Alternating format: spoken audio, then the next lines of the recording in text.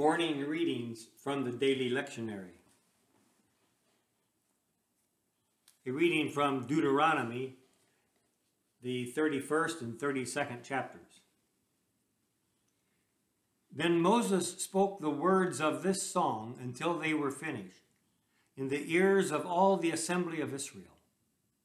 Give ear, O heavens, and I will speak, and let the earth hear the words of my mouth.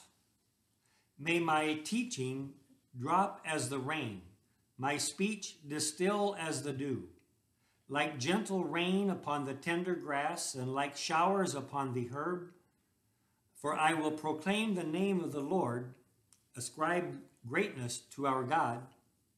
The rock, his work is perfect, for all his ways are justice. A God of faithfulness and without iniquity, just and upright is he. They have dealt corruptly with him. They are no longer his children because they are blemished. They are a crooked and twisted generation. Do you thus repay the Lord, you foolish and senseless people? Is not he your father who created you, who made you and established you? Remember the days of old Consider the years of many generations. Ask your father, and he will show you, your elders, and they will tell you. When the Most High gave to the nations their inheritance, when he divided mankind, he fixed the borders of the peoples according to the number of the sons of God. But the Lord's portion is his people, Jacob his allotted heritage. He found him in a desert land and in the howling waste of the wilderness. He encircled him, he cared for him. He kept him as the apple of his eye. Like an eagle that stirs up its nest, that flutters over its young, spreading out its wings, catching them, bearing them on his pinions, the Lord alone guided him. No foreign God was with him. He made him ride on the high places of the land and ate the produce of the field.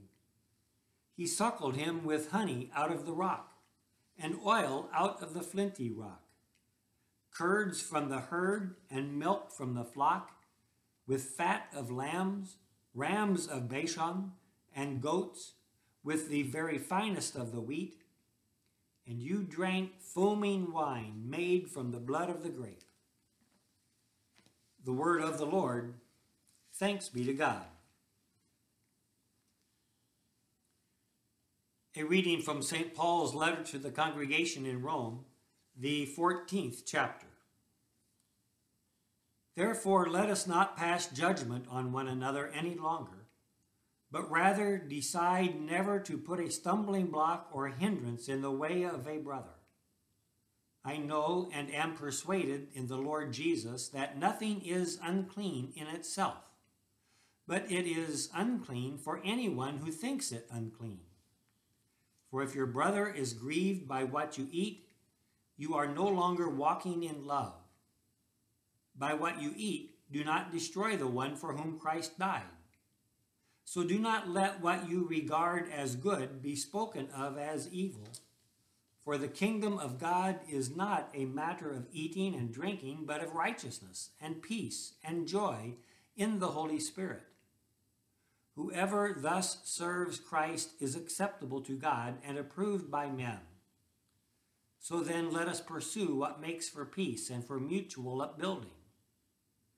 Do not, for the sake of food, destroy the work of God. Everything is indeed clean but it is wrong for anyone to make another stumble by what he eats. Is it good not to eat meat or drink wine or do anything?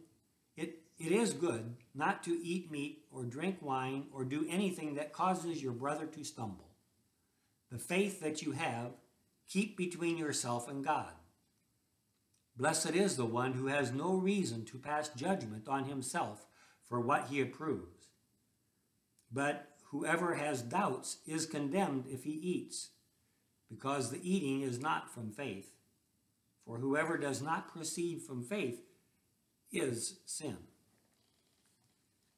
The word of the Lord. Thanks be to God.